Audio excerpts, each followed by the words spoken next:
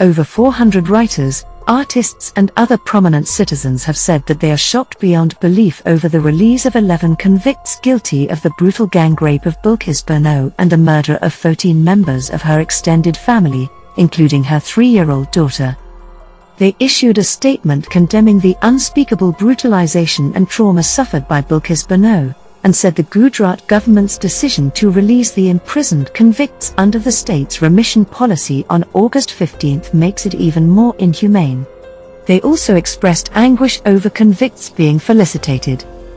Among 401 signatories are Rajya Sabha MP Jawhar Sircar, politician and columnist Sudheendra Kulkarni, journalist Paranjoy Guha Thakurta, actor, activist and politician Nafisa Ali. We believe that the remission and the government's silence sends out a signal of impunity and sets a precedent that is inhuman and immoral. We, therefore, urge you to ensure immediate and complete revocation of the order of remission and thus restore the faith of all our citizens in justice, humanity and civilization, the statement said. Earlier, in an open letter to the Supreme Court, 134 former members of the All India Services, under the banner of the Constitutional Conduct Group, had expressed their deep distress over the premature release of convicts. They had urged the top court to rectify the horrendously wrong decision by the Gujarat government, questioning the grant of remission to the convicts. Separately, around 6,000 signatories, including activists, eminent writers, historians, filmmakers, journalists and former bureaucrats, had on August 18 urged the apex to revoke the premature release order.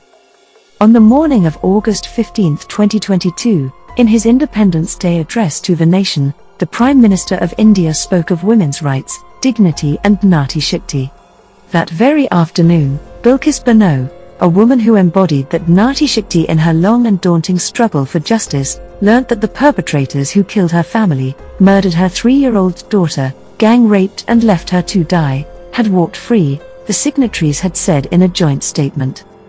Reproduced below is the full text and list of signatories of the latest statement condemning the release of convicts in the Bilkis Bano case. Section Statement condemning remission granted to the 11 convicts in the Bilkis Bano case.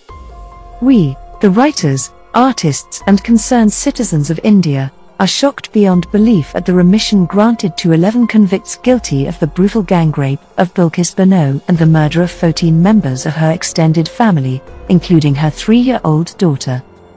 That the convicts were freed on our 75th Independence Day on August 15th, a day when our leaders champion the cause of women, makes it even more inhumane. As Gandhiji mourned the violence of 1947 on the day India became free, we too mourn with profound sorrow and express our solidarity with Bilkis Bano, who suffered unspeakable brutalization and trauma and now watches helplessly as her tormentors are felicitated and their release celebrated. We believe that the remission and the government's silence sends out a signal of impunity and sets a precedent that is inhuman and immoral. We therefore urge you to ensure immediate and complete revocation of the order of remission and thus restore the faith of all our citizens in justice, humanity and civilization. Thanking you in anticipation. Sincerely yours. Citizens of India. 1.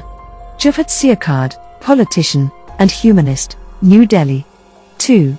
Sudheendra Kulkarni, politician and columnist, New Delhi. 3. Paranjoy Guha Thakurta, Media, New Delhi. 4. Sudipto Mukherjee, Director at United Nations, Damascus. 5. Nafisa Ali, actor, activist, politician, Goa. 6. Shubha Mudgal, singer, Mumbai. 7. Anish Pradhan, musician, Mumbai. 8. Jayanta Mahapatra, poet, Cuttack. 9. Raghu Rai, photographer, New Delhi. 10. Naveen Kishore, writer, publisher, Kolkata. And 391 others.